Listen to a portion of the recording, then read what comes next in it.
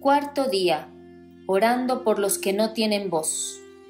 El beato Anacleto González Flores, líder de la Acción Católica de la Juventud Mexicana, mártir cristero, antes de morir, dijo al oficial Ferreira, Lo perdono a usted de corazón. Muy pronto nos veremos ante el Tribunal Divino. El mismo juez que me va a juzgar será su juez.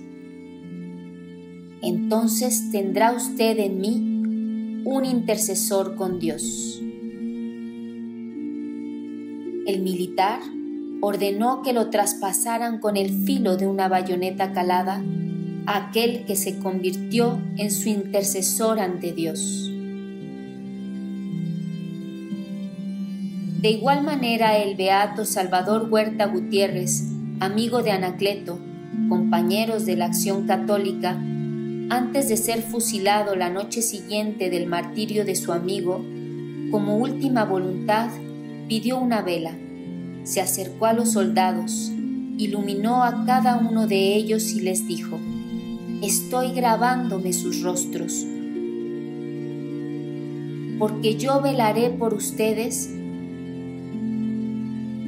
para que mi sangre no sea derramada en vano. Los espero en el cielo. Viva Cristo Rey, viva la Virgen de Guadalupe. Y recibió la descarga. Anacleto y Salvador, dos gloriosos mártires de Cristo Rey, que ofrecieron su sangre por el perdón y la conversión de sus verdugos han sido semilla de nuevos cristianos. Vencer el mal con un bien. No hay paz sin justicia, ni justicia sin perdón.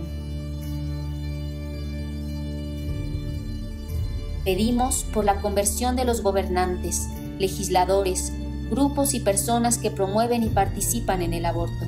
También pedimos por cada mujer, para que descubra en su maternidad un don de Dios. Por cada hombre, para que sea custodio de la mujer, y por ambos para que agradezcan el milagro de dar vida. También pedimos al Señor sabiduría, luz y fortaleza para combatir con valentía y ver a los demás como Él los ve.